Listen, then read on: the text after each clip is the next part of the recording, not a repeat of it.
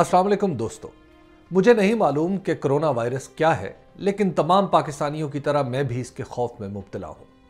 میں یہ نہیں جانتا کہ اس کا علاج کیا ہے، لیکن موبائل فون پر آنے والے جس پیغام میں کرونا کا غلط یا صحیح علاج بتایا جاتا ہے، میں اسے غور سے سنتا، دیکھتا یا پڑھتا ہوں۔ مجھے نہیں پتا کہ کرونا وائرس سے بچنے کے لیے گھروں میں بند ہو جانے کا یہ عالمگیر تجربہ کیا رنگ لائے گا، لیکن ہماری اجتماعی یادداشت سے یہ کبھی مٹ نہیں سکتا۔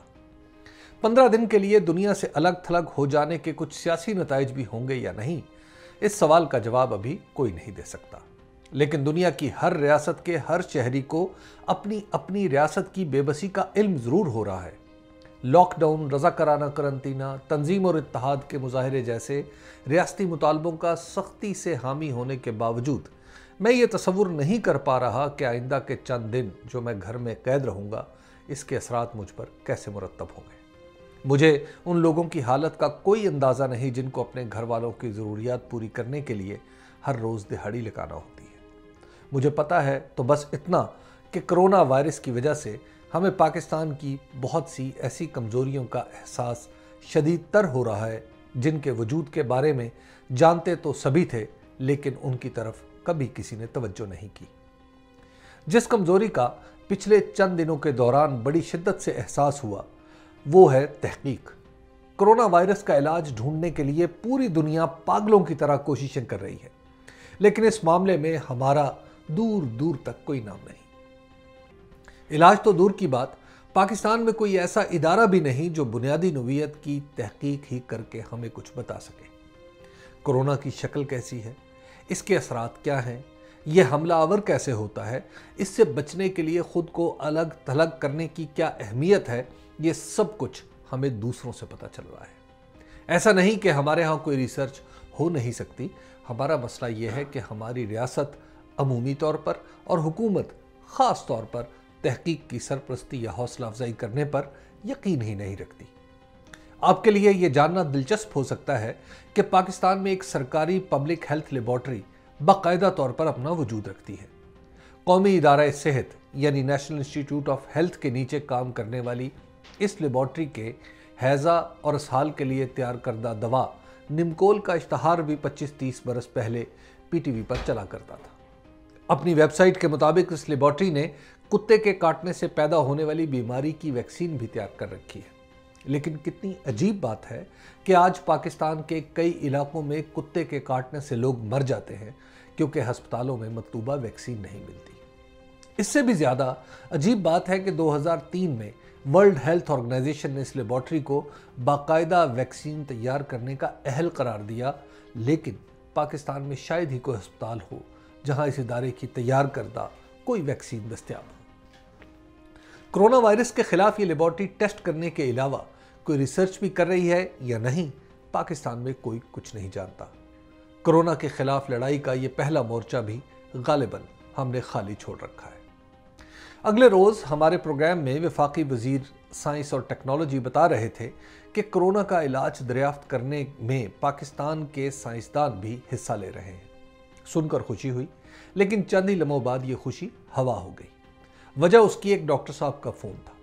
انہوں نے بتایا کہ فواد چودھری صاحب کی بات میں وزن اس وقت ہوگا جب Pakistani doctors phase three trials کا حصہ ہوں گے۔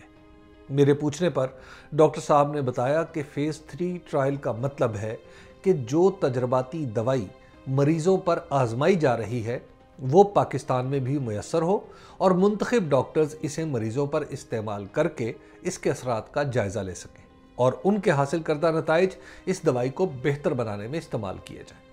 ظاہر ہے، یہ ایسا مرحلہ ہے جہاں دنیا کا کوئی بھی تحقیقی ادارہ کسی دوسرے ادارے یا ملک کو اپنا حصہ بنانے سے پہلے سو مرتبہ سوچے گا۔ لیکن خود کرونا کی صورت میں ہمارے پاس تحقیق کا جو موقع میسر ہے، اس سے ہم کتنا فائدہ اٹھا رہے ہیں؟ تحقیق سے ہماری محبت کا اندازہ یوں بھی لگایا جا سکتا ہے کہ کراچی میں ایک international institute for chemical and biological sciences نامی ادارہ ہے۔ اس وسیع و عریض ادارے کا ایک حصہ وائرس اور اس سے پھیلنے والی بیماریوں پر تحقیق کے لیے مختص ہے جیسے ہی پاکستان میں کرونا کا پھیلاؤ شروع ہوا، اس ادارے کے لوگوں نے اس پر تحقیق شروع کر دی۔ لطیفہ یہ ہے کہ جب سندھ حکومت نے تمام تعلیمی اداروں کی بندش کا اعلان کیا، تو اس ادارے نے اپنا کام جاری رکھا۔ چند دن بعد کسی نے اس ادارے میں سائنسدانوں کی آمد و رفت کی ویڈیو بنا کر سوشل میڈیا پر ڈال دی۔ اور سندھ حکومت نے حکمن اسے کام سے روک دیا۔ یعنی وہ ادارہ جو کرونا کے علاج کے لیے تحقیق کر رہا تھا، خود کرونا لاک ڈاؤن کا شکار ہو گیا۔ یہ تجربہ بتا رہا ہے کہ حکومت سندھ میں کوئی ایک بھی ایسا نہیں تھا جو اس موقع پر کرونا کے خلاف کام کو لازمی خدمات قرار دے کر اس ادارے کو کام جاری رکھنے کی اجازت دیتا۔ ہو سکتا ہے یہ ادارہ کوئی علاج دریافت کرنے میں ناکام رہتا، لیکن سائنسی تحقیق کی دنیا میں ناکام تجربہ بھی اس لیے کامیاب قرار دیا جاتا ہے کہ بعد میں اسے دہرایا نہیں جاتا، بلکہ کوئی نیا طریقہ آزمایا جاتا ہے۔ اسی بنیادی نقطے کو سمجھنے والا کوئی بھی شخص حکومت کے کسی ایوان میں بیٹھا تو نظر نہیں آتا۔ دنیا میں یونیورسٹیاں تحقیق کے اہم ترین مراکز میں شمار ہوتی ہیں۔ اب پاکستان کی یونیورسٹیوں کا حال بھی سن لیجیے۔ دو ہزار دس میں جب پاکستان میں بہت بڑا سیلاب آیا، تو لاہور کی ایک سرکاری یونیورسٹی کے وائس چانسلر سے عرض کیا کہ اپنے طلبہ کو کتابوں کی دنیا سے نکال کر باہر بھیجیں تاکہ وہ زمین پر اپنی آنکھوں سے دیکھ کر صورتحال کا اندازہ لگائیں۔ انہوں نے بڑے فخر سے کہا، ہمارے طلبہ امداد لے کر پہنچے ہوئے ہیں۔ میں نے وضاحت کی کہ طلبہ کے بغیر امدادی کام بخوبی ہو رہے ہیں اور یہ میں اپنی آنکھوں سے دیکھ کر آیا ہوں۔ میری مراد تحقیق تھی کہ طلبہ اپنے متعلقہ شعبے کے متعلق معلومات اکٹھی کریں۔ کوئی نفسیات کا طالب علم ہے تو وہ سیلاب متاثرین کی نفسیاتی تبدیلیوں کا مطالعہ کرے۔ کوئی زراعت سے متعلق ہے تو سیلابی پانی سے زراعت پر پڑنے والے اثرات کا معائنہ کرے۔ میری وضاحت پر وائس چانسلر صاحب کے چہرے پر ناپسندیدگی کے آثار ابھرے تو میں خاموش ہو گیا۔ ملاقات کے خاتمے پر یونیورسٹی کے ہی ایک استاد نے میرے پاس آ کر کہا، حبیب صاحب آپ ریسرچ کی بات کر رہے ہیں۔ وائس چانسلر صاحب چاہتے ہیں کہ آپ سیلاب میں ان کی خدمات میڈیا پر اجاگر کریں تاکہ انہیں ان کے عہدے پر توسیع مل سکے۔ میں یہ بات سن کر حیران ہی رہ گیا۔ شیخ الجامعہ ہو کر کوئی اتنا چھوٹا بھی سوچ سکتا ہے۔ بعد کے واقعات نے ثابت کیا کہ ہماری یونیورسٹیاں تحقیق کے مراکز نہیں بلکہ اساتذہ کی سیاست کے اکھاڑے ہیں۔ ان میں اب وہ ماحول ہی نہیں رہا جہاں لیبارٹری میں مغز ماری کرنے والوں کی کوئی قدر ہو۔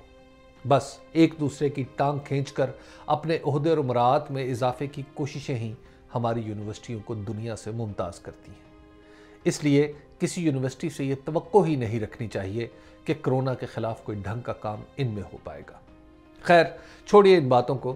اچھی خبر یہ ہے کہ امریکہ میں ایک شخص کو کرونا کے خلاف تیار کردہ ویکسین تجرباتی طور پر لگا دی گئی ہے۔ چار افراد کو فرانس میں تیار کردہ ویکسین لگا کر دیکھا جا رہا ہے کہ اس کے کیا اثرات ہوتے ہیں۔ اور آسٹریلیا میں ڈاکٹروں کو کرونا وائرس کا جو پہلا مریض ملا، اس کا معائنہ کر کے ہی وہ کرونا کے خلاف انسانی مدافعتی نظام کا جائزہ لے رہے ہیں۔ اپنا حال یہ ہے کہ ایک دن پہلے کئی بار قومی ادارہ صحت کی ویب سائٹ پر دیے گئے فون نمبرز پر کال کی تو مجھے ایک ہی جواب ملا۔ وہ یہ کہ آپ کا مطلوبہ نمبر کسی کے استعمال میں نہیں۔